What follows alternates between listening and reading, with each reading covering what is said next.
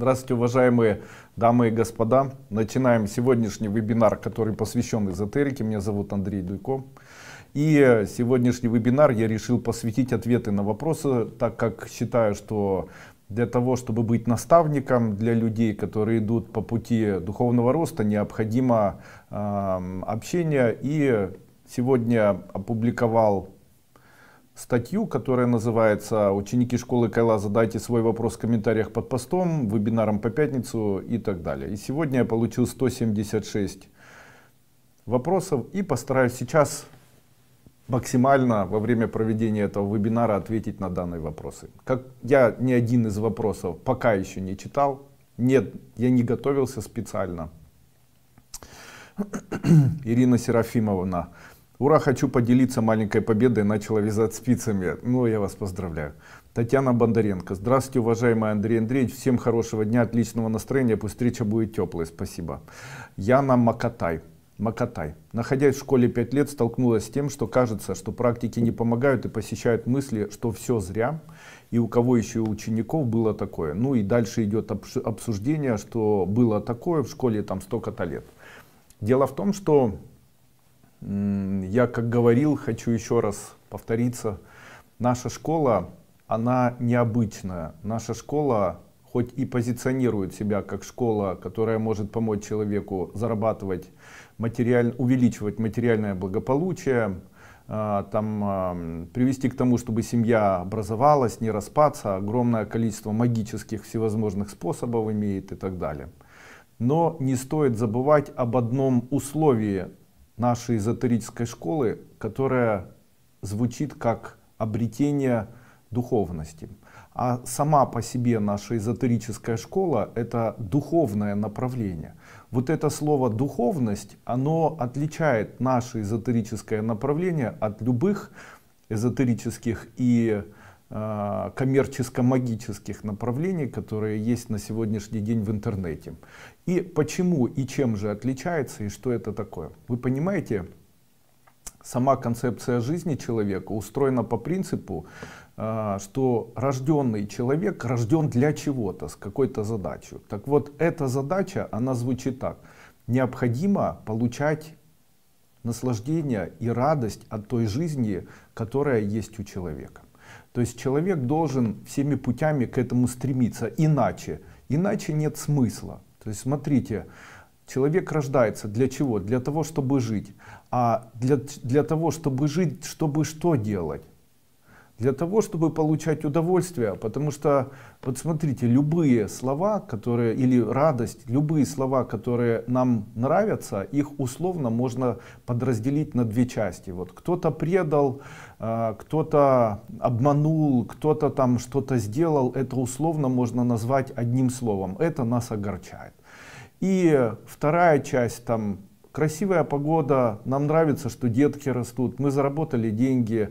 Это называется радоваться. Таким образом, условно можно сказать, что жизнь наша, она связана только с двумя элементами. Это элемент либо огорчения, либо радости. Так вот, а, существует такое понятие, которое называется безусловность. То есть можно безусловно огорчаться, то есть огорчаться от ничего. То есть человек проснулся, у него уже плохое настроение. И вот такое безосновательное огорчение я обычно называю влиянием деструктивных сил. А безусловная радость, которую я называю блаженной радостью, я называю служение светлым силам. Мы в нашей эзотерической школе стремимся к тому, чтобы у нас появилось вот такое безусловное желание сначала радоваться, а потом безусловное ощущение бесконечного блаженного счастья, которое появляется в нашей душе, в нашей груди. И я обычно это называю еще и словом святость. То есть человек, получающий вот такое блаженное состояние радости, возникающее ни от чего, является элементом святости. Это никак не противоречит никаким абсолютно религиозным доктринам, но я как человек, который давно занимается эзотерикой, могу вам сказать, что свои задачи, которые я ставил, я их формировал для себя, понимая данную доктрину. То есть я понимал, что человек может чувственно. Помните, я говорил, что мы можем, э, мы с Богом общаемся через чувства. То есть в случае, если нам что-то не нравится в жизни, у нас это отбирают. В случае или отбирают жизнь. В случае, если и так далее. И я там часто говорил, что с нами происходит то, что мы чувствуем, а не то, что мы желаем. Это очень важная тоже доктрина нашей школы, но немножко не об этом. Когда мы стремимся к тому, чтобы зарабатывать деньги или к тому, чтобы что-то там с кем-то жить и так далее. Я все время даю эзотерические вот такие методы, они очень простые, вплоть до того, что говорю, изменяем свое отношение к деньгам, и я обычно говорю, что вот вы пришли покупать, и для того, чтобы не расстраиваться по поводу того, что вам не хватает денег, в тот момент, когда вы отдаете, произносите, я покупаю себе там квартиру, машину и так далее, или приходите в гости и видите чье-то жилье, у вас появляется зависть, говорите, ничего страшного, у меня скоро будет. Для чего так создано все? Это создано только для одной простой задачи перевести человека к тому, чтобы в момент того, когда он постоянно от чего-то испытывает состояние страдания, просто перевести его в то, чтобы он от этого страдания не испытывал. Тем самым формируется доктрина вот такой радости. И человек, который следует данной доктрине, то есть в тот момент, когда он там видит там, а, я обычно это называю энергиями, то есть говорю сексуальная энергия, это когда мужчина или женщина смотрит на партнера, чужого партнера или чужую семью и не испытывает от этого страдания. Наоборот, мотивирует себя, произнося слова «скоро у меня так будет», то есть купирует зависть, убирает, убирает системное страдание, которое возникает от воспоминаний и так далее. И я это условно называю магией денег или магией сексуальной или еще какой-либо магией. И в тот момент, когда, конечно, это выглядит больше примитивно, но о самой задаче я говорю обычно прямо на первой ступени школы Кайлас и говорю о том, что есть вот такой выбор для человека, это выбор страдания, выбор не страдания и так далее. Но в дальнейшем когда человек начинает выбирать для себя все-таки использовать вот такие механизмы, появляется, должно появиться со временем некое такое состояние, которое называется э, безвозмездное или ничем не обоснованное появление вот такого состояния блаженства от того, что человек живет, у него рано или поздно появляется вот такое состояние блаженства. Ни от чего. Вот я хочу вам сказать, что вот это состояние блаженства, которое, как правило, появляется у человека в середине его груди, там, где находится его душа, хоть ее во многих как бы атеисты скажут, что души не существует, там э, религиозные деятели скажут, что душа существует. Я как эзотерик и считаю себя немножко альтернативным, отличающимся от любых эзотерических направлений э, школы, руководителем такой школы, которой я являюсь, я обычно говорю, да, душа существует и даю ее механизм, объясняю, как это устроено, совершенно это не похоже на другие как бы идеи, которые есть в религиозной там какой-нибудь системе обучения и так далее. Хотя я совершенно не отрицаю христианство, мне нравятся любые религиозные направления.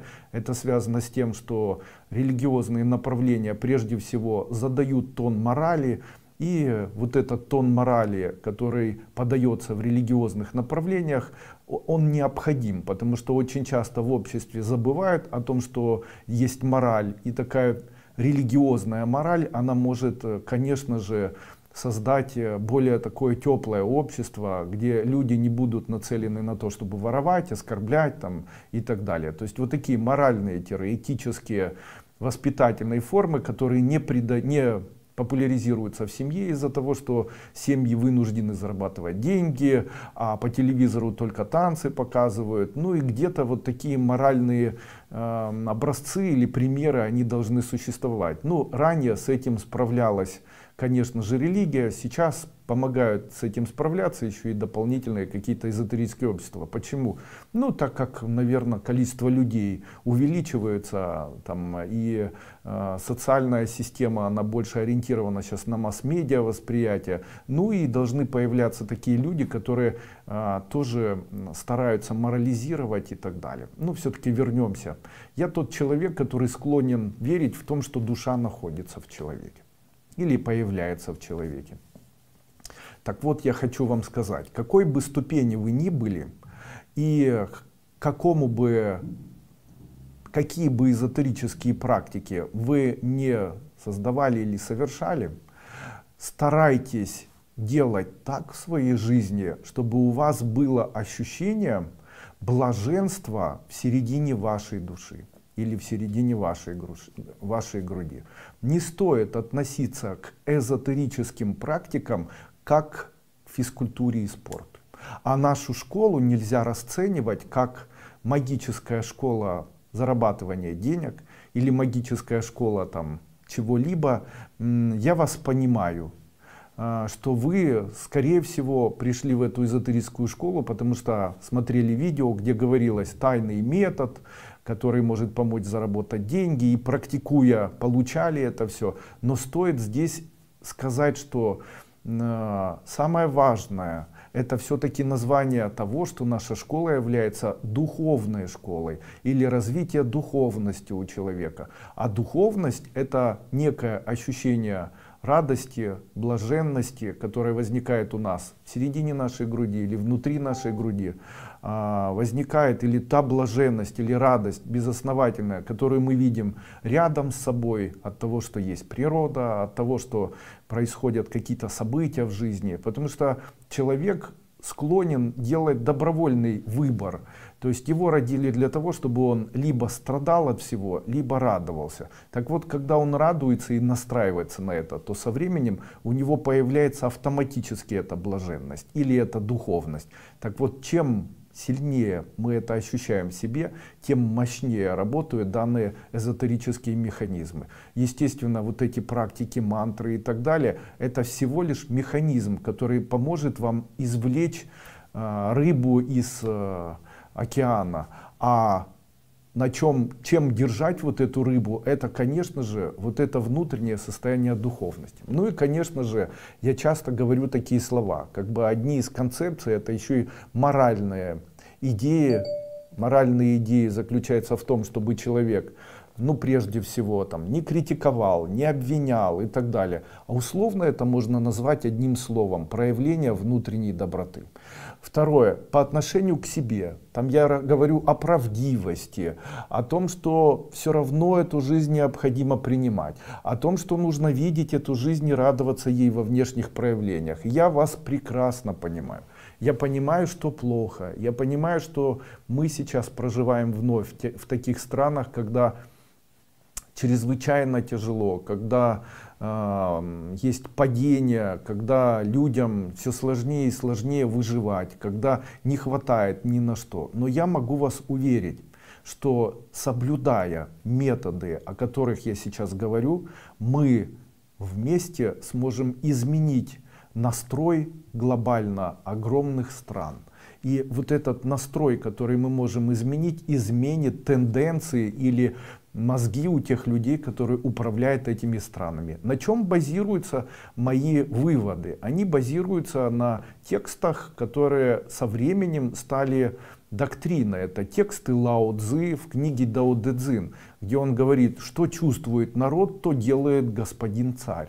Ну, где-то так и происходит. То есть для того, чтобы у царя поменялось мнение, и царь хотел делать что-то для народа, то народ должен измениться. Он должен измениться в сторону доброты. Он должен, чтобы царь к ним добре относился. Он должен... И здесь я понимаю людей. Их научили реагировать на то, что происходит с нетерпением, злостью и так далее. Но Никто не, никто не убирал вот эту духовность. Если людям давать вот такую идею, быть более духовным человеком, быть более милосердным, быть более человечным, быть более теплым. Я не говорю о том, что Человечный это значит давать возле там, магазина кому-то подачку. Но есть же такие люди, которые дают подачку, приходят домой и делают жизнь близких невыносимой. То есть они начинают кричать, орать и так далее. И я часто говорю такие слова. На вас кричит, кричит человек, ничего страшного, не осуждайте, не оскорбляйте. Говорите, ничего страшного, все пройдет. И как бы вас ни называли, тоже ничего страшного, тоже пройдет. Слава Богу, что все плохое когда-то заканчивается. Поэтому терпение, милосердие, блаженность внутренняя, блаженность и накопление радости и удовольствия от того мира, который вокруг нас находится, может помочь человеку полностью изменить свою жизнь, а социуму полностью изменить свою жизнь вокруг себя. Вот так наверное, ответил. Поэтому пять лет читать одни мантры — это бесполезный труд, так как одно без второго не работает. Именно поэтому я говорю, развитие духовности на первом месте. Как ее развивать? Первая, вторая ступень. А мантры и все остальное это уже как бы дополнение к этой удочке, которая ловит рыбу. Расскажите, пожалуйста, как правильно складывать пальцы рук при чтении кодов. Я просто держу ваджу в левой руке, перебираю бусы правой. Смотрите, вот это называется сексуальная энергия. Сексуальная энергия человеку необходима в тот момент, когда он хочет быть более принятым в обществе, потому что человека красивого более воспринимают противоположный пол. А что его делает красивым? Его делает красивым именно вот такая сексуальная энергия, привлекательным, очаровательным и так далее. А, и когда йоги или йогин, который посвящает свою жизнь развитию а, себя, когда такой йогин начинает заниматься эзотерическими практиками, йогическими практиками, какими-либо, то ему обычно сексуальная энергия мешает больше, чем вся остальная, так как это называется гормоны. Их контролировать тяжело. Голод и желание секса обычно больше всего заставляют человека страдать на пути духовного роста. Ну и, конечно же, йогину это чрезвычайно мешает. Ну и йогину не нужна семья. Вот этот палец безымянный обычно отвечает за семейственность или нашу семью. Это палец Венеры. Таким образом, сексуальный палец заземляют на палец венериальный, после чего йогин таким образом заземляет энергию, которая заземляет и аннулирует друг друга, то есть энергия сексуальная, которая вырабатывается, полностью уничтожается энергией семьи. Таким образом, если человек во время своих занятий сидит вот таким образом, то ему не будет хотеться продолжения рода, и у него не будет никогда семьи понятно, у него не будет никогда семьи. Я хочу вам сказать, если держать пальцы вот таким образом, то у человека исчезает желание и мотивация двигаться в своей жизни. Если вот так держать, то у человека появляются проблемы со здоровьем. Если вот так держать, то появляется большое количество неприятностей. Если вот так держать, то у человека появляются проблемы с организацией семьи. И тут такой вопрос у меня возникает. Если это было необходимо йогинам, то насколько это необходимо обычным людям, скажите мне. И тут такой вопрос, уважаемые господа, хотите здравого смысла немножко, вот теперь вы это все знаете, скажите, если вы вышли на путь саморазвития, нужны ли вам замыкания пальцев? И теперь как держать? Никак. Я обычно даю такие методы. Если вы всех замучили тем, что вы э, все на вас обижаются или вы на всех обижаетесь, то указательный палец заверните и обнимите всеми остальными пальцами. Тогда на вас не будут обижаться те ваша родня, и вы не будете обижаться. Почему? Потому что он отвечает за эгоизм. А как правило, эгоизм является первопричиной всех наших неприятных ощущений, э, находящимися, с находящимися рядом нас людьми. Поэтому, если вы обижаетесь, если вы хотите оскорбить кого-либо, если вы недовольны чем-то в своей жизни, если ваше эго переполняет, если вы обижаетесь уже много лет, делайте медитацию с тем, чтобы брать и указательный палец свой прятать вот так вот в ладони. Помните, что обида является первопричиной всех онкологических заболеваний, потому что она неразрешимая, потому что это обычно узел, который человек не хочет прощать и так далее. А любые узлы, которые проявляются в начале на энергетическом уровне внутри нашего тела, энергетического тела, в дальнейшем формируют появления опухолей, ну и так далее. А, и, конечно же, то, что мешает или блокирует появление материального благополучия. Это некая планета Кету, и она олицетворяет палец мизинец, олицетворяет еще и почки.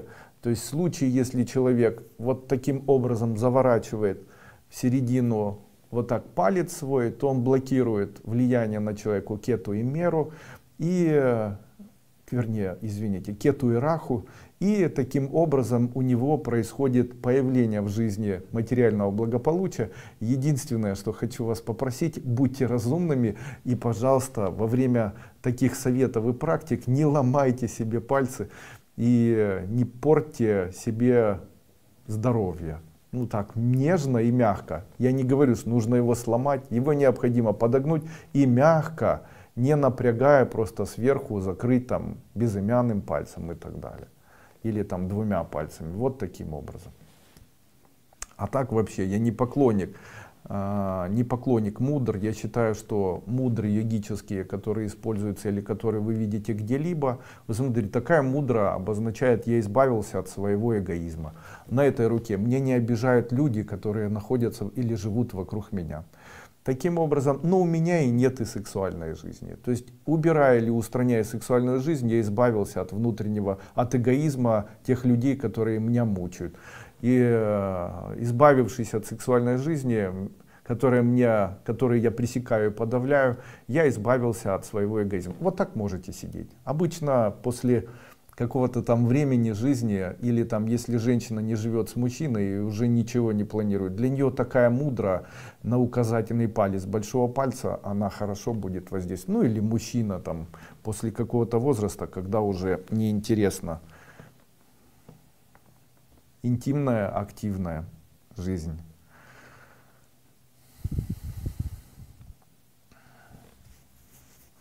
Ответил, да? Здравствуйте, уважаемый Андрей Андреевич. Собираемся приобрести дом. Какой обряд провести при новоселье? Дом не новый. Думаю, многим будет интересно.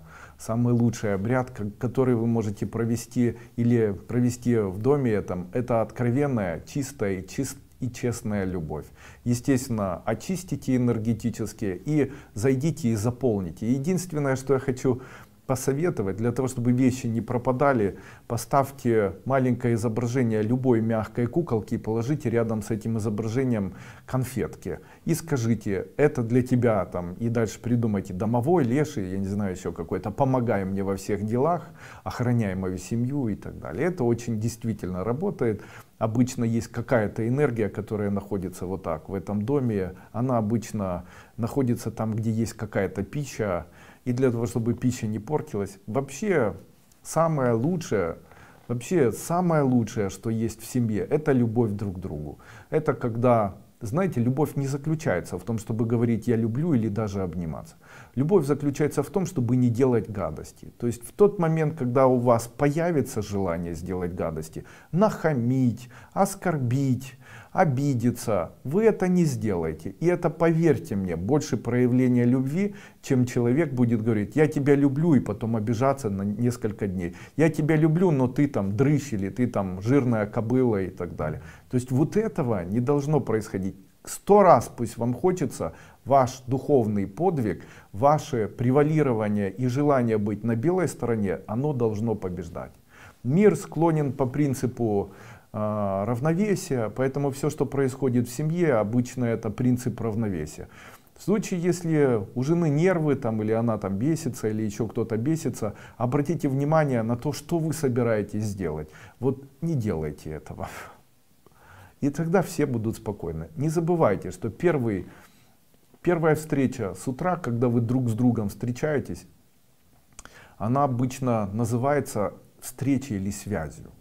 Когда вы просыпаетесь утром, если вы глава семьи, мужчина или там сами живете женщиной, у вас дети, кто-то с вами живет, обязательно друг с другом обнимайтесь. Это черта присуща исключительно, ну в большинстве своем, исключительно только людям. Это создает потенциал верности, желание заботы, желание э, там, э, такой милости какой-то внутренней и так далее. Поэтому, когда вы утром просыпаетесь, нравится вам человек, не нравится, обижаетесь вы не обижайтесь, введите в свой, как это назвать, ритуал, вот незаметная эзотерика, незаметная магия связана с ритуалами. Пусть для каждого, в каждой семье будет ритуалом обнимания. Целоваться там только с близкими, но обняться необходимо со всеми. Я каждое утро просыпаюсь, иду к детям, их обнимаю, обнимаю свою жену. Если есть гости, обнимаю гостей. И это считаю самым важным утренним ритуалом. Вначале там умываюсь, после чего иду со всеми обнимаюсь и так далее. Я считаю это очень приятным таким ритуалом. Это и есть то, что в свое время описывалось в Евангелии. Это свое время покаяния или свое время некое вот такое всепрощение.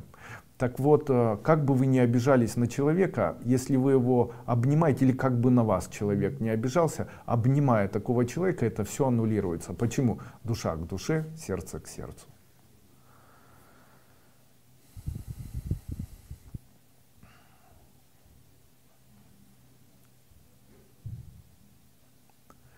Андрей Андреевич, я приобрела у вас четки из черного агата, очистила их, осветила, начитываю на них мантры, одеваю их на шею, иногда ношу. Не нужно четки одевать на шею, черные тем более. Дело в том, что черные четки из агата, они созданы для того, чтобы садить в них должников и черные четкие из агата, они связаны вот с чем. Допустим, есть человек, который очень сильно что-то плохое делает в жизни. Есть должник, который вам должен. Вы должны взять такие четкие и представлять в середине этих четок, как будто а, в кругу, который образуется от этих четок, находится такой человек. И читаете данные четки. Такие четки необходимо использовать только для данной цели. То есть они заставляют у человека, которого вы садите в такие четки, почувствовать состояние совести э, по отношению к вам. В случае, если вы хотите изменить мир, можно посадить там президента или еще кого-то. Но я хочу сказать вам, что не поможет. Потому что обычно эти люди, а дальше смотрите вчерашний мой семинар, который назывался ИРТЕ последнее заседание, в случае, если вы участник ИРТЕ. Ну и там я об этом объясняю, кто же наши правители и так далее. Тем не менее, я больше не говорю о ковиде, я больше не говорю о политике, мне очень нравится мой канал. Потому что в случае, если я буду говорить, нас вновь заблокируют. И знаете, очень неприятно было, когда заблокировали канал, но тут же сделано было несколько каналов, и, видимо, поняли, что если нас одно закрывать, то мы еще пять открываем. Поэтому решили, что легче отдать, чем плодить и размножать. Поэтому четкие из черного агата, они не предназначены к тому, чтобы на них читать мантры. И они не предназначены для работы эзотерической с чтением мантр, кодов, заклинаний и так далее. Баян Тургун Кызы. Уважаемый Андрей Андреевич, добрый день. Очень интересная тема про повышение тонов, переходы на новый уровень. Как-то слышал, вы говорили там уровни и так далее. Смотрите, человек в своей жизни находится на определенном уровне. Об этих уровнях я рассказываю на одной из своих ступеней.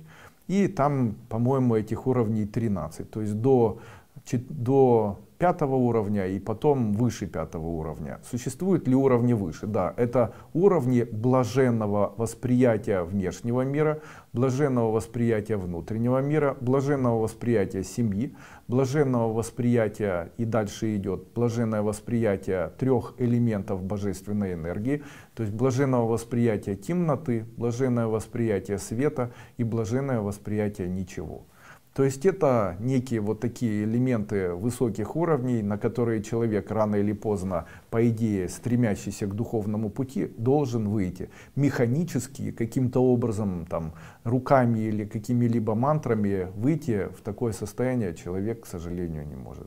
Вообще духовный рост это подвиг. Поэтому, когда человека э, желания происходит духовного роста, то это не однодневный процесс, это процесс должен занимать какое-то время. И духовный процесс этот, он подробно раскрывается мной в моих э, эзотерических ступенях. Светлана Гломан. Уважаемый Андрей Андреевич, как поступать, если врать не хочется, а начальник принуждает? Врать самому в глазах других, выглядеть хорошо. Если говорит нет, создается напряженная обстановка. Я считаю, что человек ни под каким соусом никогда не должен врать. В случае, если вас это беспокоит, знайте, вы являетесь соучастником лжи и не должны это пресекать.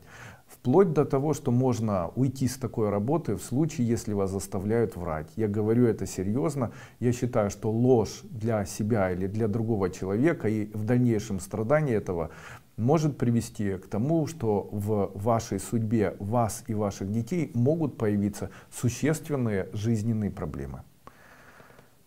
Лилия Глущенко. Скажите, пожалуйста, перед чтением мантры зажигаю палочку. Зачем затем включаю шум очищения пространства и очищения места, где я читаю мантры? Нужно произносить мантры для очищения. Ну, очищение происходит так. Необходимо представить, будто вокруг, во-первых, запечатали себя со словами «Ом махум хахохри», после чего обвели все, как я рассказываю, золотой такой ниточкой, создали контур. После чего сожгли это все огнем, после чего приставили, все светится ярким светом. После этого прочитали мантру запечатывания «Ом махум хахохри». Обычно это занимает у человека не больше 20 секунд. А там палочки, мантру очищения. Проходите ступени, я обычно об этом все рассказываю. Вопрос, переводятся ли люди, у которых, переродятся ли люди, у которых нет детей или внуков, возможно, это наказание. Нет, это не является наказанием, все перерождаются. Если можно, расскажите, как правильно держать ваджу на привлечении, как на убирание. В одном из вебинаров вы сказали, что женщинам лучше влево и так далее. Вообще, что обозначает ваджр? Давайте я его возьму сейчас в руки, у меня он тоже есть. Ваджр обозначает энергию сознания энергия сознания человека — это энергия, которая, вот смотрите, как устроен принцип трех гун или трех энергий. А, принцип трех энергий и трех гун в человеке связан с символистическим изображением лингама. То есть ложе или устье обозначает землю. А, или по-другому называется это горизонтальным миром. Смотрите, все, что в горизонтальном мире находится, оно все имеет плотную форму. То есть, если смотреть в горизонтали над землей, то все, что ниже горизонта, все имеет плотную форму. То есть это фактически наша Земля. Вот все, что имеет плотную форму, является элементом сатвы или элементом происхождения Земли, земным, ну условно. А, земля, она больше похожа на матку женскую. То есть, если в нее попадает семя, то после того, когда семя попадает, оно вырастает. Ну и само семя является тоже порождением, как ни странно, земли. Но для того, чтобы семя попало, необходимо, чтобы появилось в самом начале желание. А желание является уже намерением сознания, намерением умственным. То есть и вот это намерение, это огненный столб или все, что идет от земли, от горизонтали, в вертикали. Именно поэтому человек вытянулся, в отличие от всех животных, в вертикаль, потому что любая энергия намерения или желания, она обычно вытягивает все виды энергии э, как бы из горизонтального мира в вертикальный. Таким образом, можно условно сказать, разглядывая лингам, к сожалению, у меня нет на столе, так бы я вам показал разглядывая лингам или изображение лингама, обычно говорят, что это там фалос Шивы. На самом деле это эзотерическая, э, эзотерическая доктрина мироустройства трех гун. Итак, первое это намерение, это энергия огненная в виде столба, которая входит в землю. Это намерение, чтобы земля рожала, намерение, чтобы в земле что-то появлялось. И женское, горизонтальное, это лона, в котором зарождается семя и в котором оно гермафродическое, в котором зарождается от такого намерения зарождается семя, и зарождается матка, и зарождается после этого жизнь, и после чего зарождается все, что мы имеем в горизонтальном мире. И третье — это пустота, которая находится и вокруг горизонтального мира, и вокруг вертикального мира. Это пустота, это пустота божественная. Это небо, которое мы видим темное. Это пустота, которая все аннулирует и которая есть законом. Именно поэтому условно, глядя на Землю, можно сказать, что небо это энергия э, э, намерения, э, а Земля это энергия роста и давания, и созидания, и э, появления чего-либо материального. А небо это сверху, оно условно выглядит как большой купол над землей. И вот этот большой купол обычно изображается в форме некой змеи э, с кобры с огромным таким э, с огромным таким э, воротником капюшоном кобры. Почему? Ну, наверное, ни для кого не секрет, что космос может быть как счастьем, так и угрозой для планеты Земля. То есть космос и эта божественная энергия может быть а, там от Солнца оторвался какой-нибудь кусочек, ну я как не знаток это говорю, конечно этого не может произойти, и после чего жизнь на Земле там исчезла. Или там, может ли космос восприниматься как элемент агрессивный? Конечно. Именно поэтому для человека поклонение лингаму как намерению осознанной человеческой жизни, как плодоношению нашей Земли, горизонтальному миру, и как вселенскому духу, контролирующему все вот эти задачи, является для нас ну, вот, религиозной, вот такой доктриной. Я не знаю, знают об этом в Индии те, кто поклоняются или нет, но могу сказать, что это очень разумные гуны, которые есть, все три гуны есть в человеке. То есть гуна, которая обозначает землю, это левая часть нашего организма. Правая называется гуна, которая обозначает наши намерения, это правая часть, огненная часть. И центральная часть, которая проходит вдоль человека, в котором находится позвоночник, копчик, это безразличие. Это божественное безразличие, а одновременно божественный закон, который невозможно никаким образом пресечь. То есть кто бы ни говорил о том, что Бога нет, я обычно говорю, дело в том, что молекулы, если бы Бога не было, они бы соединялись, как им бы хотелось. Но они почему-то соединяются только так, а не иначе. Когда только так, а не иначе, они э, соединяются, то это говорит о законе. И этот закон, он кем-то контролируется. Они же не думают, когда объединяются. Они же, знаете, есть такие молекулы, которые имеют там плюс и минус, там микрочастицы. И эти микрочастицы в электронике, в химии, в микробиологии, там в чем угодно, вообще в биологии, генетические законы и так далее. То есть они с позиции логики не поддаются разумному объяснению. То есть объяснить, почему так происходит, невозможно. Вы знаете, что мозг человека до сих пор не изучен. То есть чем глубже ныряют в него, как это все устроено, тем больше удивительных фактов о нем находят. И сказать однозначно, как небольшой э, биологический сгусток там, тканей, там, с аромамасляной кислотой, и в котором участвует распад липидов, там, ацетилхолинов, и там, с появлением а, дофамина и э, серотонина, на, как функционируют там, синаптические связи, как достат, почему происходят эти химические процессы в синапсах, как одновременно э, в ткани может происходить процесс движения энергии электрического заряда, заряда в дендрите в одну сторону, в аксоне в другую сторону, почему это происходит и так далее, почему миелин так себя ведет и так далее. То есть на эти вопросы можно ответить только гипотетически, но ни одно существо на Земле никогда, ни при каких условиях не может и не сможет сделать подобный механизм. То есть у, у нас же как бы все уже есть на Земле, то есть можно взять клетки, можно эти клетки вырастить как-то, но создать из с нуля вот такой механизм совершенно невозможно. Почему? Невозможно, потому что понять, как это работает, никому не дано.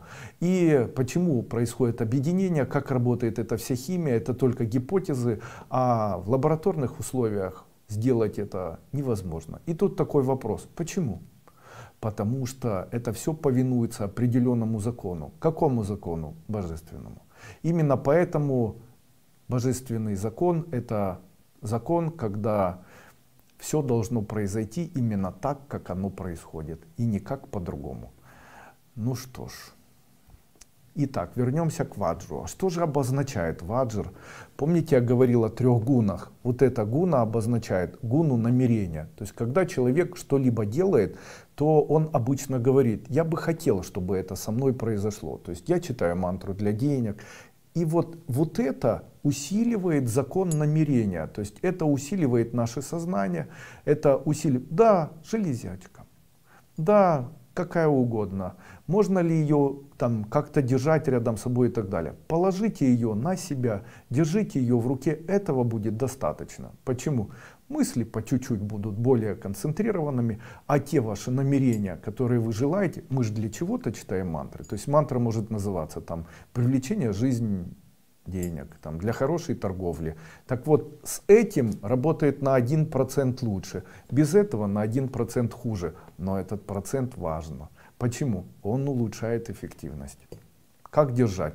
Раньше я говорил, так держать, так держать, так держать. Могу сказать, что это не имеет сейчас, по моему мнению, не имеет никакого значения. Но помогает ли держание ваджры? Да, несомненно. Ваджра помогает человеку исполнить его намерение, усиливая вот такую функцию. Намерение это желание. Елена Тупикова, здравствуйте. Давно интересует вопрос изображения в искусстве архитектуры шишки. А это символическое изображение шишковидной железы. А, и это с древних времен. Никто объяснения этому не дает. Ведь не просто так, она стоит в обособленном месте в Ватикане, стоит, значит, стоит, значит, знаю зачем. Понимаю, что эзотерическая тема это некая связь человека с космосом. Шишка в Ватикане, шишка на фонтанах, шишка на красивых заборах в частных домах и видела сочетание с лилиями. Даже в России есть фонтан у основания шишка. Дело в том, что хвойные деревья, они самые распространенные. И я сомневаюсь, что эта шишка связана с шишковидной железой. Почему? Но если рассмотреть внимательно шишковидную железу, то она не похожа совершенно на шишку. Я вам говорю, как человек, знающий точно это. Точно так же, как обычно рисует сердце, допустим, Вот это у нас считается сердцем, правильно? То есть мы воспринимаем такой рисунок как проявление любви и заботы. На самом деле для человека, который занимается физиологией человека или человека, у которого есть медицинское образование, вот это напоминает другой орган. Вообще другой орган. Я могу сказать вам, что это точно не напоминает орган сердца. Если рисовать сердце, то это условно будет выглядеть чуть-чуть по-другому, знаете.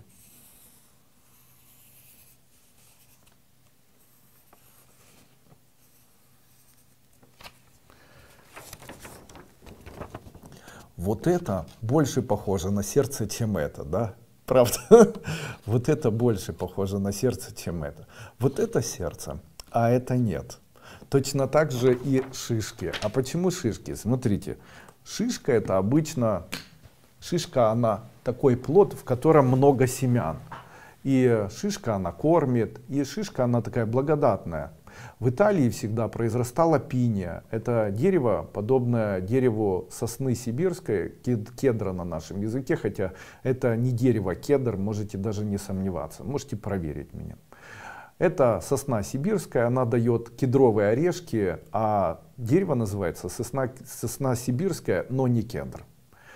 И пиния, которая произрастает на, теле, на, на территории Италии, она похожа на сосну сибирскую, только там орешки немножко большего размера. Но они тоже как у сосны.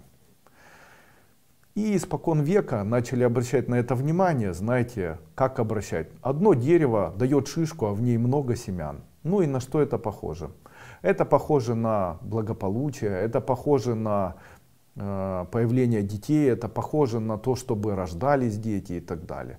Такая же проблема была в средних веках. То есть хотели, чтобы женщины рождали больше. Почему? Ну, человек так устроен, когда у него появляются деньги, то хотелось бы, чтобы появлялись еще и, э, появлялись еще и дети. Но особенность средних веков заключалась в том, что они были как бы не особо не особо понятными для тех людей, кто в них проживал. И вот что начинало происходить. Когда у человека появлялись деньги, то он начинал впадать во все чашки. То есть он там э, общался с проститутками, возможно, но я говорю возможно. Возможно, у него появлялись вредные привычки, тогда было, э, были у человека возможности там, принимать там, грибы ядовитые, или там, скорее всего, были какие-нибудь там э, питье вина или питье более крепкого алкоголя. Возможно, э, это все, возможно, больше пищи начинал человек принимать и не мог никак связать это с тем, что большое количество там употребления сладкого может привести к тому, что разовьется диабет, а одного мяса может привести к тому, что будет подагра и так далее, и там заболевания почек. И у таких людей, у которых появлялись деньги, они обычно себе ни в чем не отказывали. Ну а когда человек не отказывает себе в средних веках, то у него появляются самые обычные физиологические расстройства. И они приводили к самым обычным заболеваниям, которые и ухудшали репродуктивную функцию таких людей. В общем-то и деньги были, а все сталкивались с тем, что и деньги есть, а вот э, детей нет.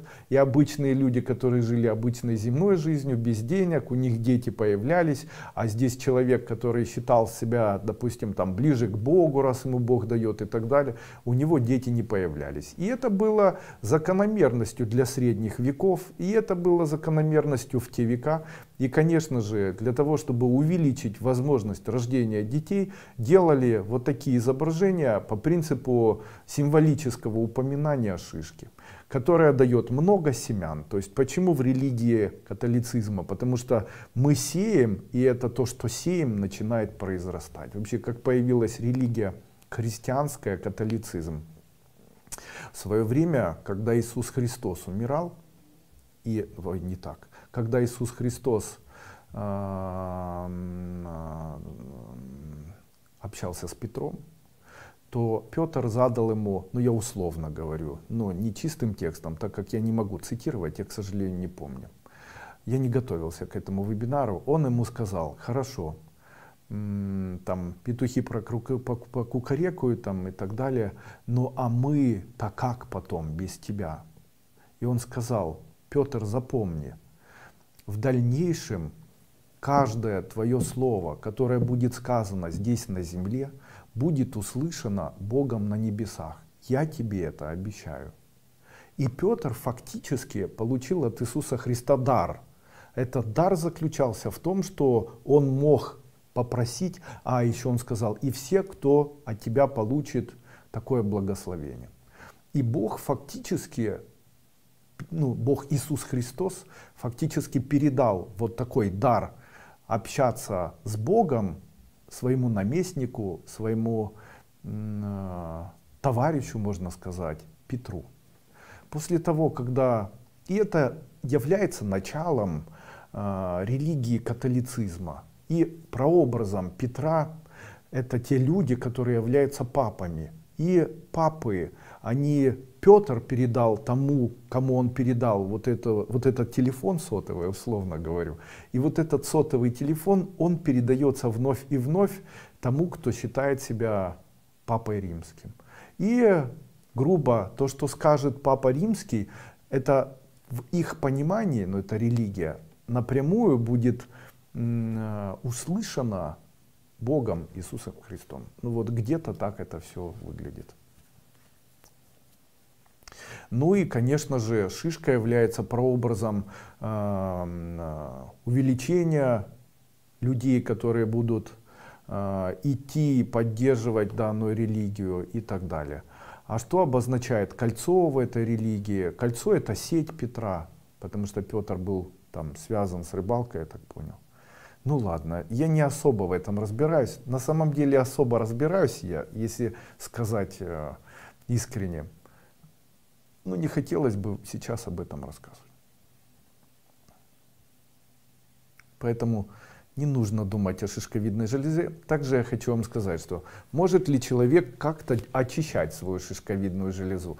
Мой ответ такой, к сожалению, никак мы не можем очищать свою шишковидную железу.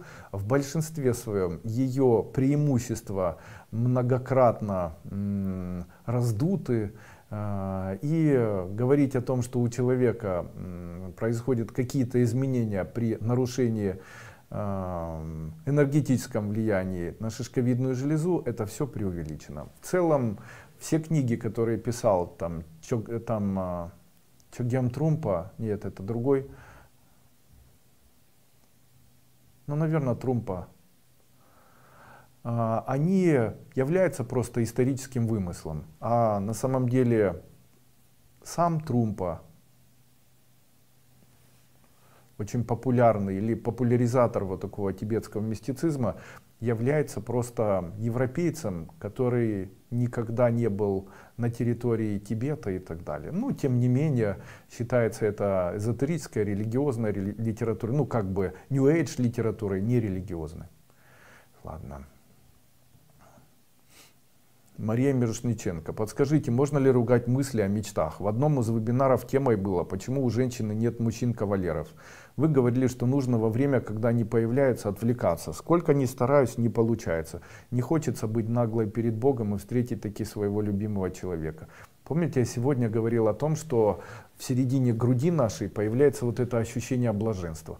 Когда вы думаете о человеке, который вам нравится, ощущайте вот здесь ощущение блаженства. Когда вы общаетесь с человеком, ощущайте вот здесь ощущение блаженства. Тогда этот человек будет вам симпатизировать и будет относиться к вам более хорошо. Но хочу вам сказать, что ощущение блаженства может быстро закончиться. И для того, чтобы оно не заканчивалось, вам необходимо его накапливать. Чем? Ощущайте радость от того, что происходит вокруг вас. Осознанную радость. Ощущайте радость, что есть солнышко и зелень.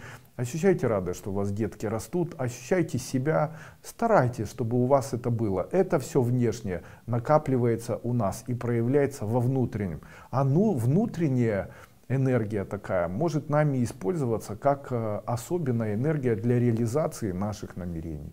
Поэтому не нужно ничего ругать, наоборот, восхищайтесь, не нужно мечтать просто. Вот такое дело. Женщину изменить невозможно, поэтому если вам хочется мечтать, ну что ж, мечтайте, главное, с открытыми глазами, так как мечты с закрытыми глазами обычно приводят к тому, что эти мечты не сбываются. Далее продолжаем.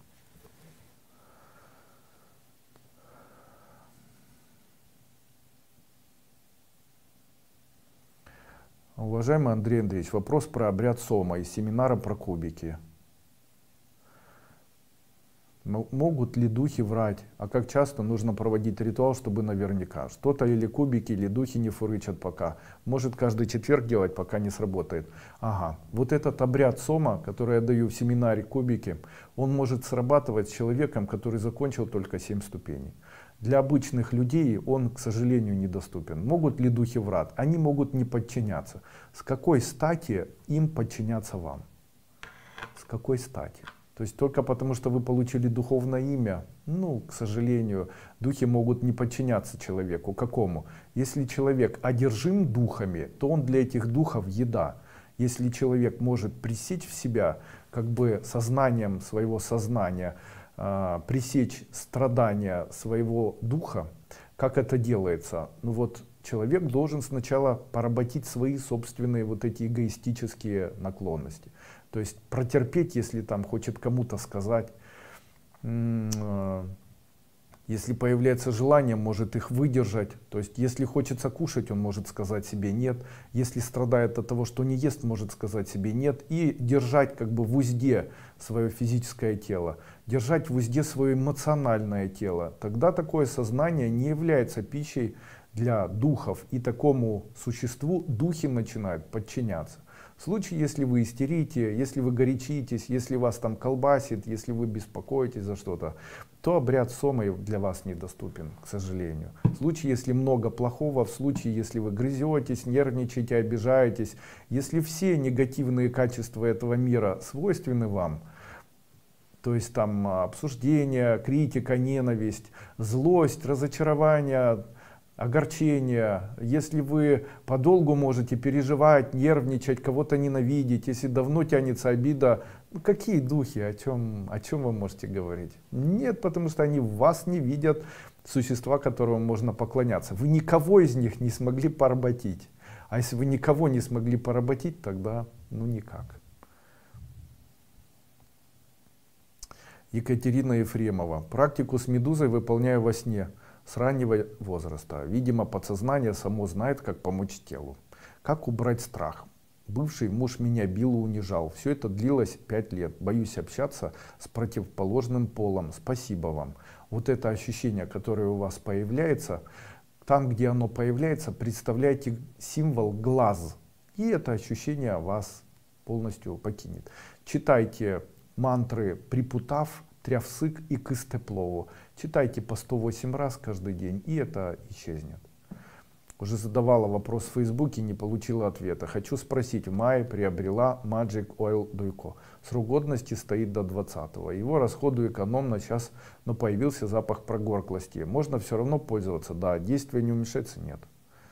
Медитация второй платной ступени 6-часовая. Пока очень сложно удержать сознание и памяти, прокручивал все время тренажеры. Это относится к прошлости и подходит эта медитация. Данная медитация это высший пилотаж в эзотерике. Единицы, единицы из просто миллиона человек могут ее отсидеть от начала до конца все 6 часов.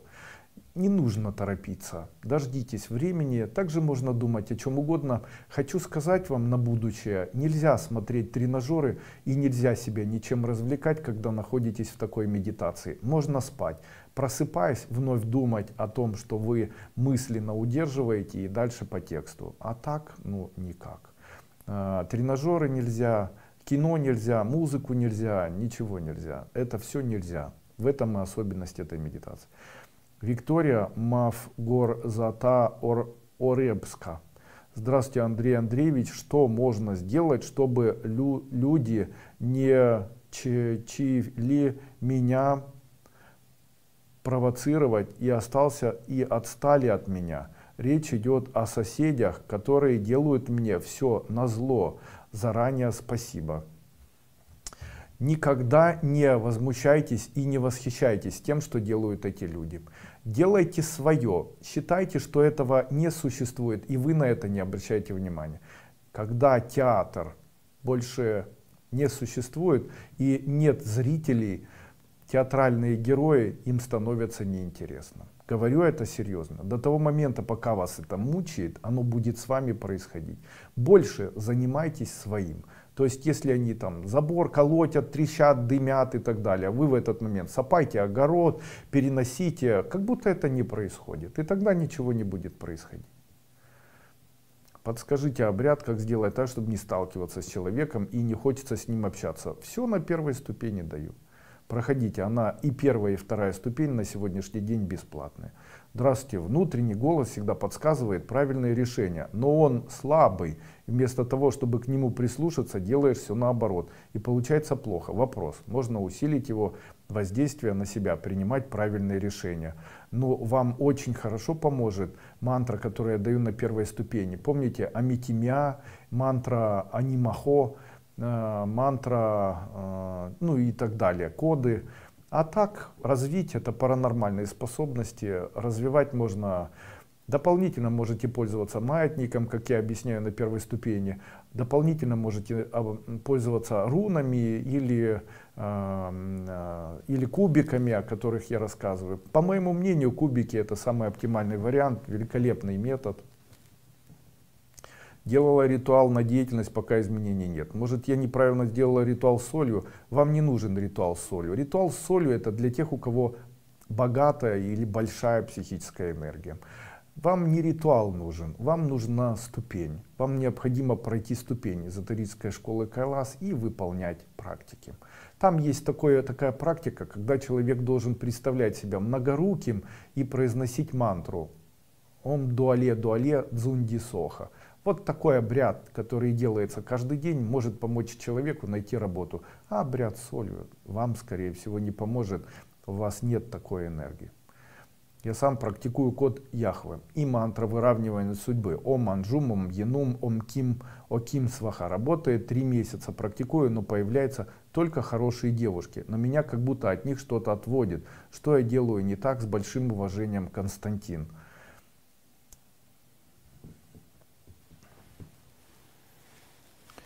Бог создал мужчину и женщину и усложнил их коммуникацию и сделал это специально для того, чтобы они после того, когда будут знакомиться, друг друга ценили и ценили эти отношения. Так в случае, если бы это было чрезвычайно доступно, то это бы не было так надолго. Именно поэтому я когда-то рассказывал, сегодня вот рассказывал, почему вот э, у меня там есть разные виды бизнеса, и мне говорят, Андрей Андреевич, а, почему там что-то стоит очень дорого, там, допустим, 60, что-то стоит 30 и что-то стоит 5. Почему вы так делаете? Я обычно ему говорю, смотри, если я продаю, допустим, за 60, то у меня покупают за 60 на сумму 6 тысяч. Если я продаю 30, то у меня купят на сумму 10 тысяч. А если я буду продавать по 5, то у меня купят на 50 тысяч. И он говорит, ну давайте все по 5. Нет. Если все по 5 будут продавать, то у людей появляется обесценивание этого товара и им не захочется покупать. А если я буду продавать по верхней цене, то появятся люди, которые будут считать, что это дорого и значит это хорошо. Ну и всегда между ними есть элементы перехода. Поэтому человек, который считает дорого, но для него очень дорого, он будет покупать дешевле. А человек, которому дешево, совсем дешево, то он не хочет покупать совсем дорогое, будет покупать среднее. Именно поэтому всегда должно существовать три шкалы, вот эти три шкалы, дешевое, среднее и очень дорогое для того, чтобы это все правильно работало. Именно поэтому, а к чему я это говорю? А, для Константина хотел сказать по поводу женщин. Ну давайте Константин, дам вам какой-нибудь совет такой. А, для того, чтобы женщина была с мужчиной, нужно соблюдать определенное, нужно иметь определенное намерение. Оно звучит так. Первое начать ухаживать. Это самое приятное, что есть. Для меня в свое время начать ухаживать было больше, чем дальнейшая жизнь. Начать ухаживать это было зарождением милых отношений. Не нужно пропускать ухаживание. Семьи, которые начинаются прямо с постели и потом постель-постель, они в дальнейшем, э, у них в дальнейшем пропускается вот этот элемент прелюдия и вот этот э, этюд, он имеет красивые краски, имеет красивые росчерки, они все яркие, но нет фона. Потому что зарождение вот этих милых и теплых отношений начинается с вот этих прелюдий. Это цветочки, это за ручки ходить, это где-то в парке целоваться, это друг друга за ручки держать, там куда-то ходить в кафе и так далее. Потом появляется семья, и вот эта прелюдия, она является квинтэссенцией или такой легато всей нашей жизни. А интимная жизнь это уже, э, это уже стаката, это когда человек делает синкопы такие, знаете, и это как э, Моргенштерн поет, это все мое. То есть это синкопы, то есть это конкретика такая. А легато это Шопен и так далее. Так вот, прелюдии эти все, это красиво, они потом по всей жизни создают вот такой образ, эфирный образ а, такой эм, а, а, не запах, а, наверное, энергетический кокон отношений. Такой вот, видишь мужчину и женщину, и после них создается какой-то вот такой послевкусие. Так вот, оно у кого-то есть, а у кого-то нет. У какой, в какой-то семье нет, а в какой-то семье есть. И вот очень часто, если были предварительные вот такие отношения, то они создают вот такое хорошее послевкусие. Нет ни одной женщины, ни одной женщины, которая бы могла вот так сразу, когда мужчина подходит и скажет ей, женщина, вы мне нравитесь, давайте встретимся. Не так это делается. Обычно это делается так. Женщина, вы такая красивая. Женщина, у вас такие красивые туфельки. Женщина, у вас такая красивая прическа женщина, вы такая хорошая, как эта весна. И мне так тепло с вами, мне так и так далее. То есть это это и есть та западня. И в дальнейшем а, не нужно, давайте встретимся, женщина, там, как вас зовут, давайте я вас приглашу в хорошее место, в ресторан, где могли бы встретиться и так далее. То есть, ну где-то так. После этого прийти с, с букетом цветов. Помните, что больше всего женщина любит, когда ей говорят то, что она красивая. Поэтому я вообще хочу дать советом, совет мужчинам. Знаете, почему кричит женщина? Женщина кричит не потому, что денег нет. Женщина кричит в тот момент, когда ей не говорят, что она красивая. Начните делать какие-то замечания, что у тебя не такие бедра, не такая грудь, не такие щеки, у тебя там волосы растут из глаз и так далее. И в этот момент ждите, пройдет время, она начнет кричать. Не забывайте, что для сохранения спокойной жизни в вашей семье у вас есть ответственность. Эта ответственность ваша заключается в том, чтобы постоянно. А мужчина обычно думает так, а зачем я постоянно, уже позавчера говорил. Нет. Женщина, то, что вы говорили вчера, уже не помнит. Ей нужно говорить это ежедневно. Ей нужно стараться, ей необходима поддержка. Женское сердце так устроено, оно все время нуждается в том, что его кто-то поддерживал. Мужчины думают, что мужчина, вырастая, становится мужчиной. Женщина, вырастая, остается девочкой. Не стоит этого забывать. А как любой ребенок, его необходимо поддержать, как любой ребенок, его необходимо мотивировать, как любой ребенок, его необходимо поддерживать словами, делами и так далее. А мужчина думает, что она такой же мужик, как он. Нет, девочка, несмотря на свой возраст, всегда остается девочка, а любой девочке необходима обязательно похвала. Обязательно похвала, но в отличие от мужчин, когда можно хвалить их за дела, женщину достаточно хвалить за ее красоту. А если она вам не нравится, это не важно. Уже нет выбора. Если вы вышли замуж, женили, если вам что-то не нравится, читайте пункт номер один. Называется штамп в паспорте. После этого, помните, как в уставе было написано, а, там, а если тебе не нравится то, что сказал начальник? Если не нравится, что сказал начальник, смотри пункт один. А там написано, начальник всегда прав.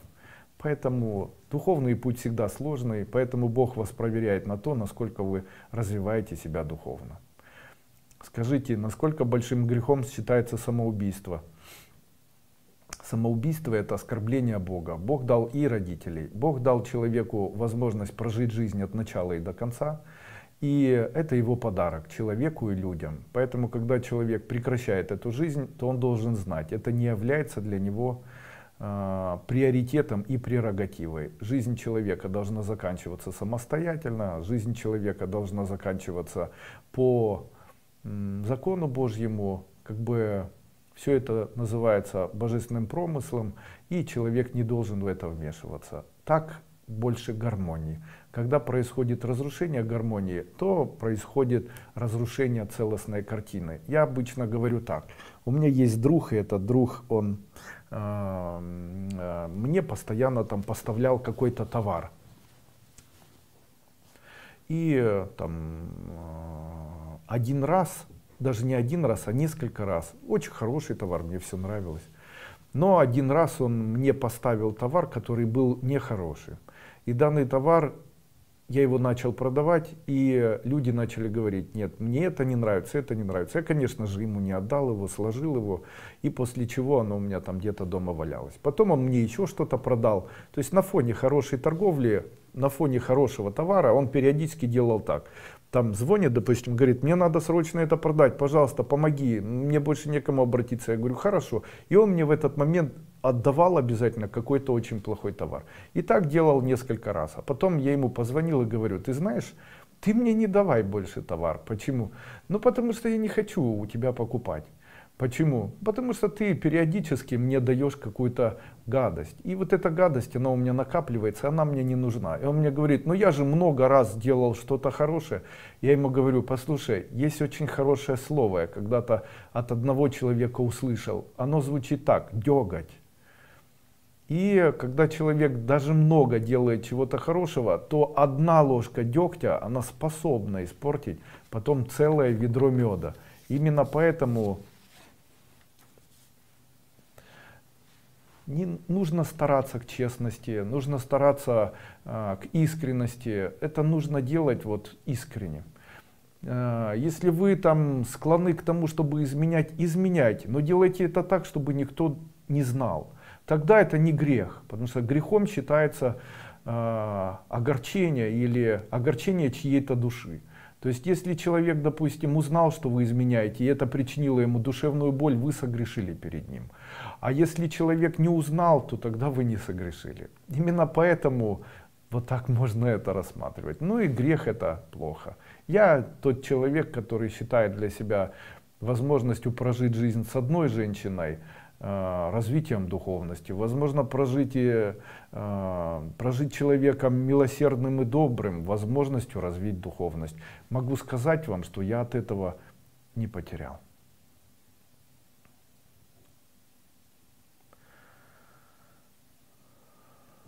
Я, я противник самоубийства. Почему у некоторых людей все получается без эзотерики, а вот некоторых с эзотерикой не получается? Это связано как раз с этим элементом духовности. Я с него начал. И если вы не поняли в начале, я рекомендую еще раз пройти с самого начала данный вебинар. Ну что, давайте несколько слов. Прямо завтра будет проходить семинар, который называется Сангая 69. Вот здесь вы можете посмотреть Асангая 69 и э, на Сангая 69 вы можете э, пройти со мной специальный семинар, мастер-класс. Этот мастер-класс называется э, биджна мантры. Это биджна мантры, которые обычно хранятся в тайне, и мы их, как правило, знаем. Сейчас я немножечко проведу а, презентацию сейчас Сангая.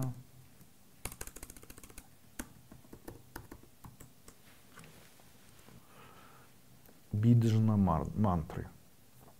Итак, какие будут биджна мантры?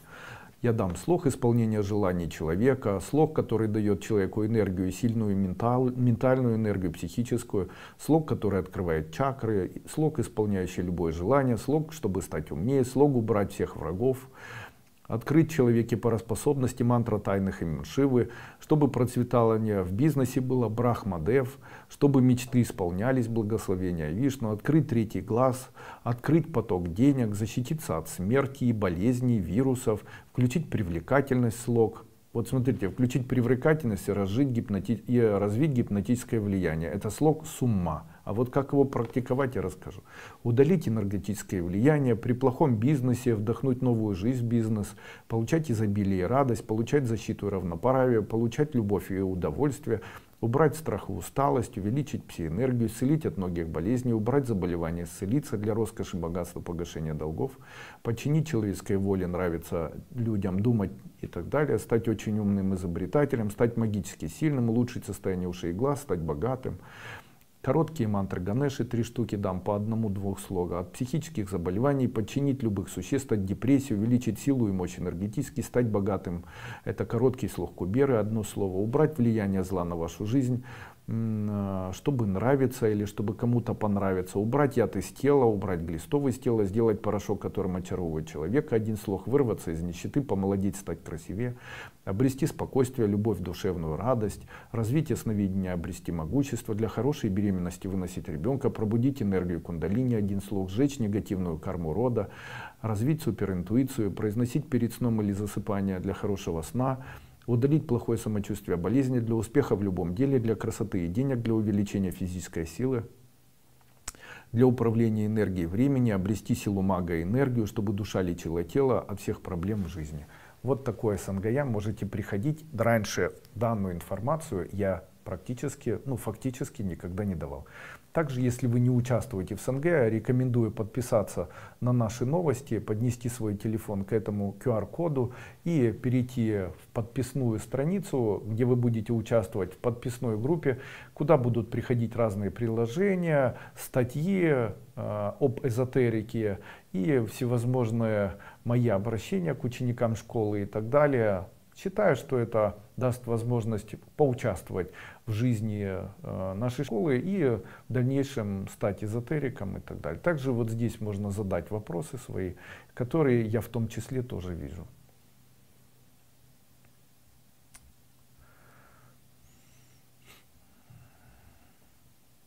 Так вот, почему у одних людей все-таки получается быть без эзотерики счастливыми? Все здесь. У них вот здесь многие люди рождаются, и у них вот это в середине не теряется, блаженство внутреннее. И им везет. Вот я такой человек. Я всегда в середине себя, много я, я понимаю. Но как по-другому рассказать? Внутри себя все время ощущаю вот это чувство детства, чувство яркого блаженства, чувство яркого э, наслаждения. Оно всю жизнь, оно мне присуще. Я и во внешнем мире это чувствую и вижу. Будучи человеком, который склонен вот к тонким искусствам, там, к музыке, я люблю классическую музыку, мне нравится живопись, я разбираюсь в живописи. Я люблю читать книги всевозможные, которые связаны с чем-то красивым, знаете. Мне нравится мода, мне нравятся женщины, мне нравится природа, мне нравится отдых. Я люблю все, что может давать человеку удовольствие и радость. И эта склонность, она у меня с детства.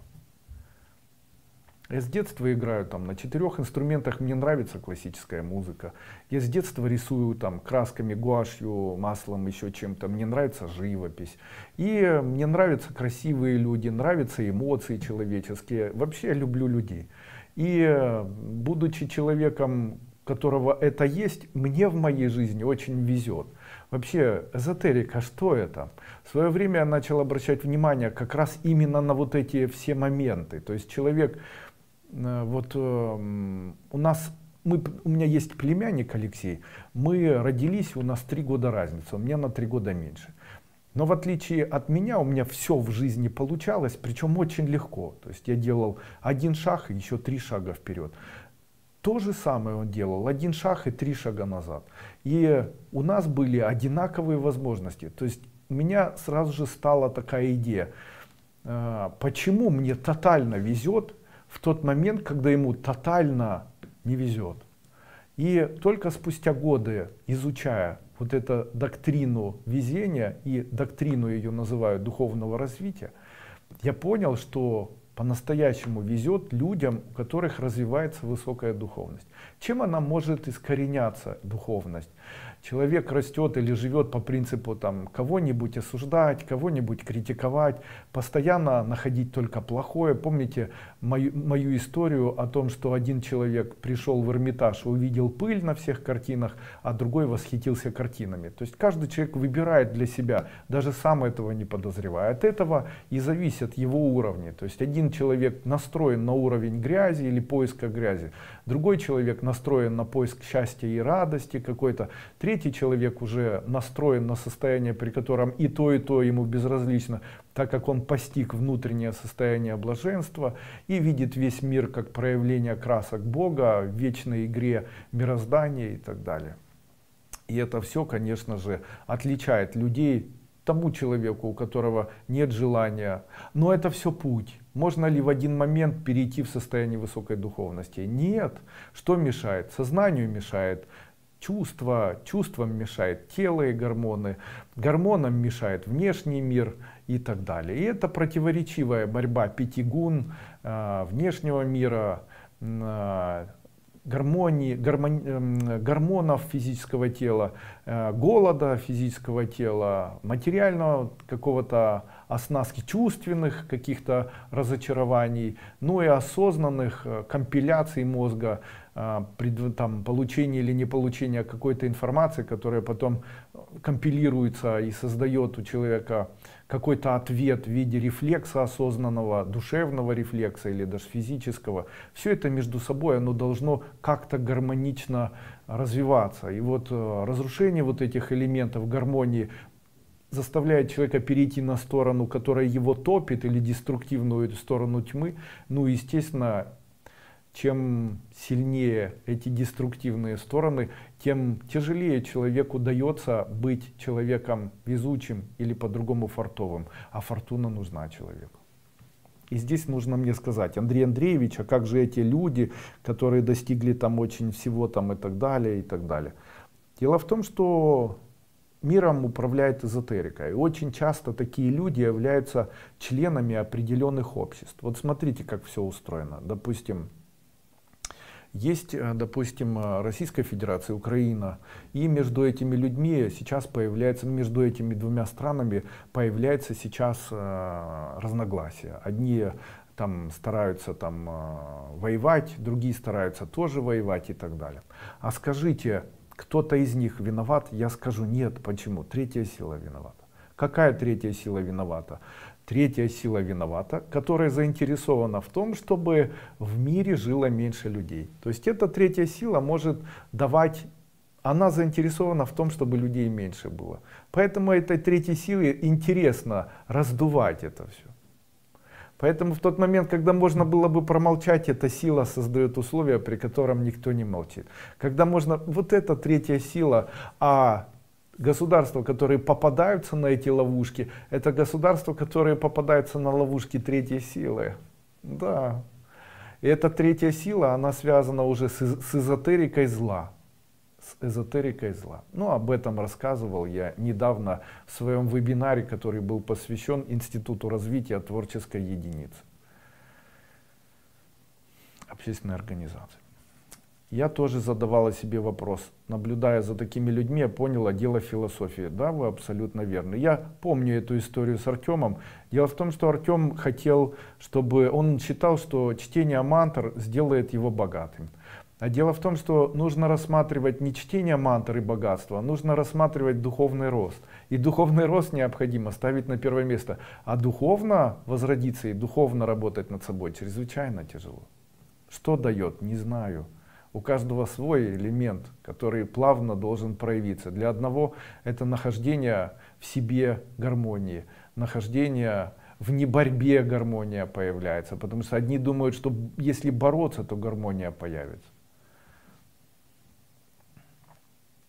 Как правильно выбирать коды и заклинания? Выбирать те практики, которые нравятся или наоборот, которые не нравятся.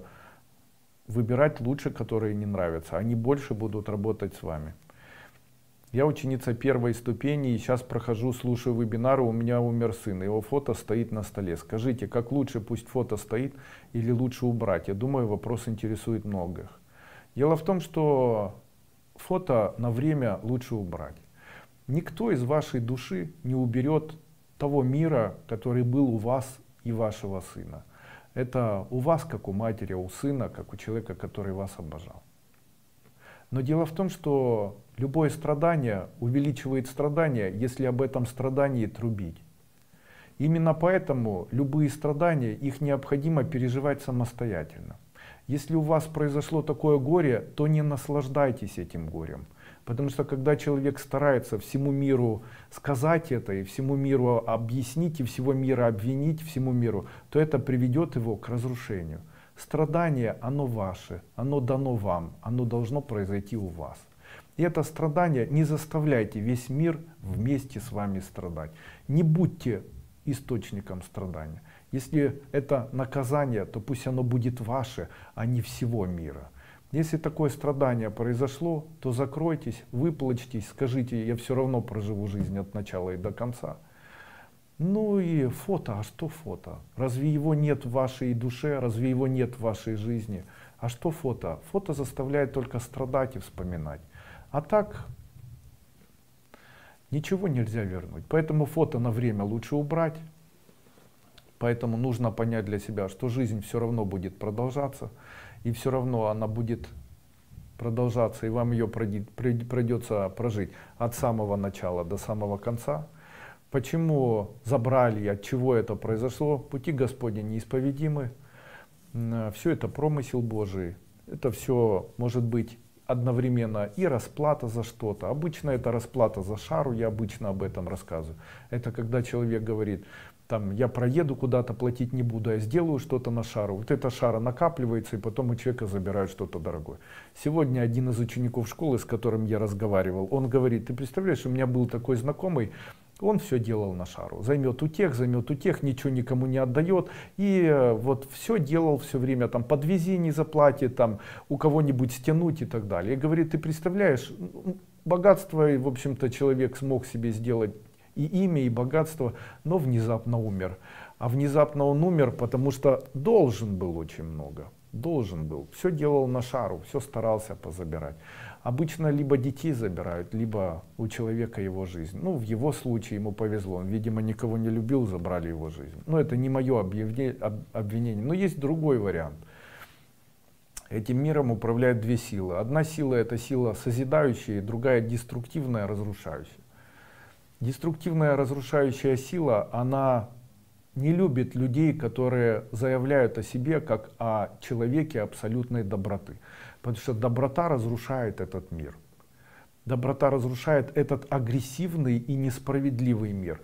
И очень часто такие люди, которые являются проявлением абсолютной доброты, абсолютного благородства, абсолютного милосердия, без капли внутренней грязи, такие люди, они начинают болеть. Почему? Они в этом мире могут быть как белая ворона. И будучи белой вороной вот такой, привлекают внимание деструктивных сил. И когда деструктивные силы не могут такого человека победить, то единственное, что остается, уничтожить вот такого человека. Ну, для этого, чтобы этого не происходило, необходимо быть одним из членов э, эзотерической культуры. В конкретном случае лучше быть учеником эзотерической школы Кавас. Низкий поклон за ваши вебинары «Вы луч солнца». Э, спасибо вашим родителям, маме долгих лет. Ей каждый день передаю. Учиться бывает, аж прет действительно, только придерживаюсь философии, все работает. Спасибо. Как работает магия стихии деревьев? Вы хотите, чтобы я сейчас обучил вас? Восхищайтесь деревьями, тогда у вас будет жизни, тогда, смотрите, хвалите деревья, тогда дерево даст вам энергию. Какую? Спокойствие. Можно ли, если вы находитесь в горах, то ветер, который дует вам, выдует у вас дурные мысли.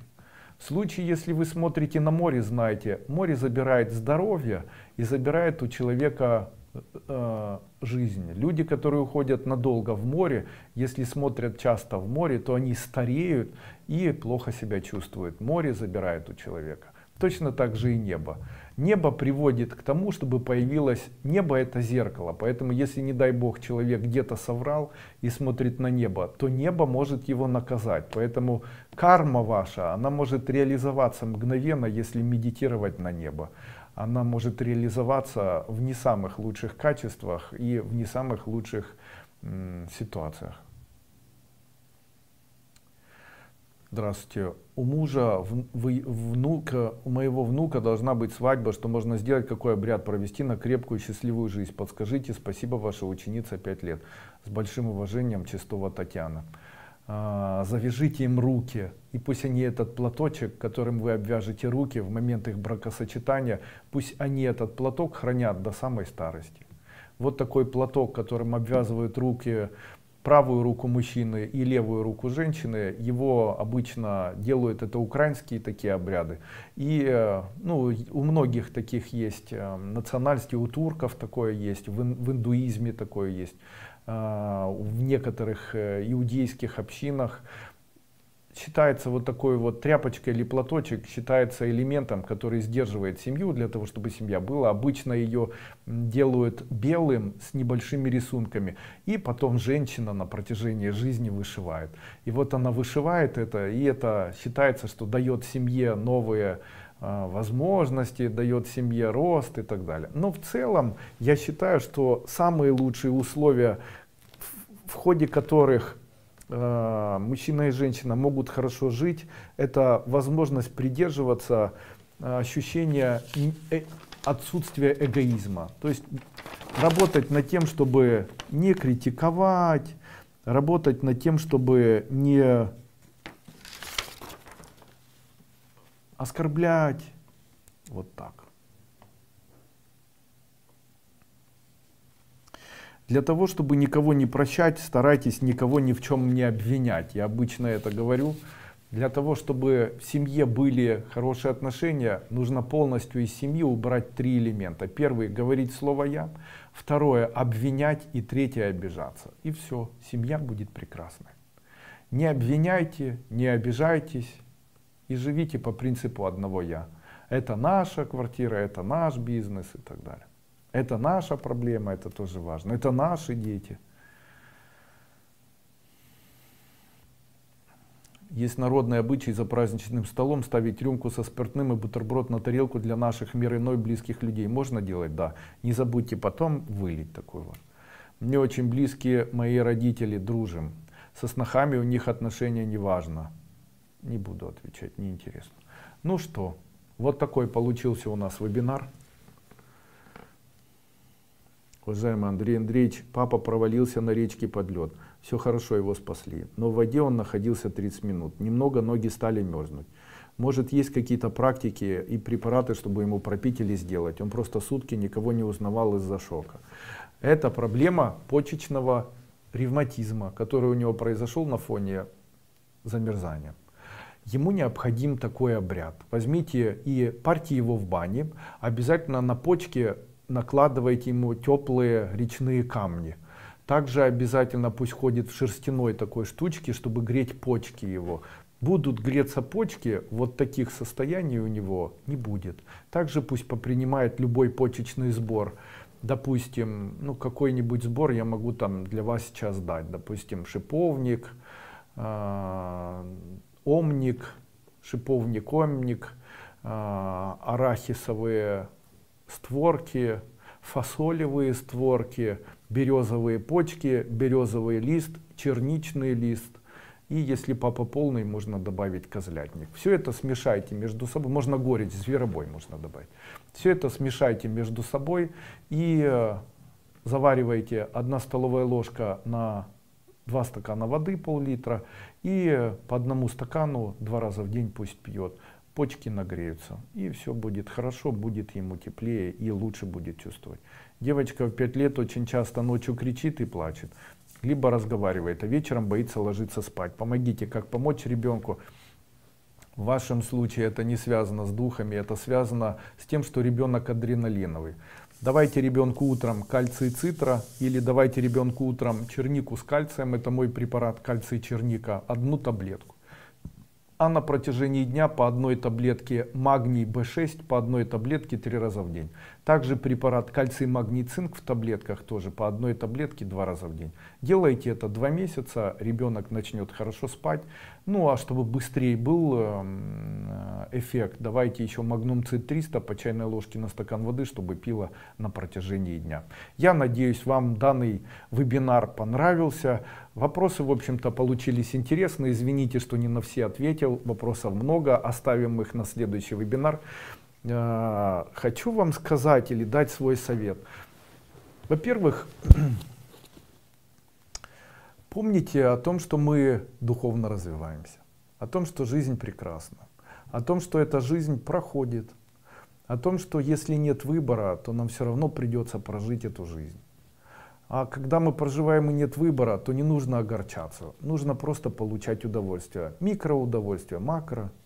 Помните, как у Цоя, там есть пачка сигарет, то жизнь неплохо на сегодняшний день и так далее.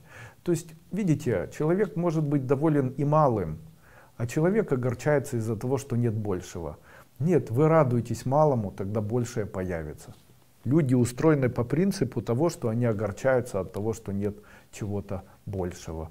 А зря. Вы лучше радуйтесь от того, что есть малое. Если радоваться малому, большее появится. А если огорчаться, что большего нет, то и малое заберут.